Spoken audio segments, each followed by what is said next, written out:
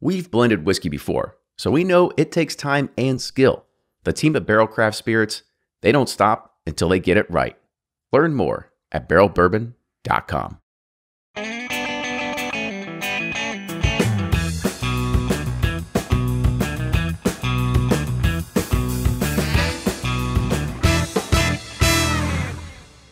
Welcome back to this Whiskey Quickie, and today we are taking a look at Blue Run Kentucky Straight Bourbon Whiskey.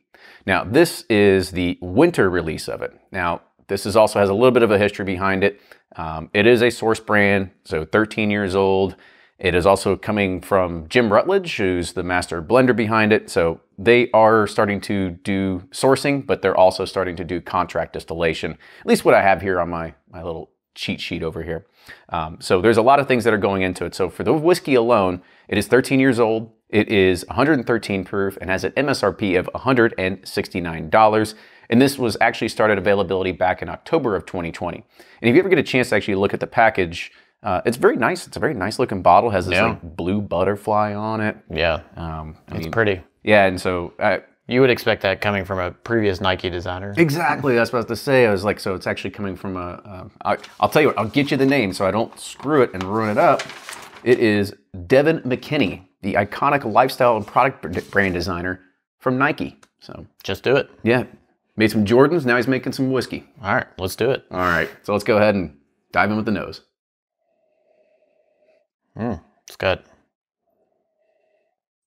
Peanut butter, brittle. yeah, some nice oak characteristics, some kind of creamy vanilla kind of notes too on it. It's a it's a typical Kentucky profile. And I, venture to say the same exact thing as well. Yep. All right, on the taste.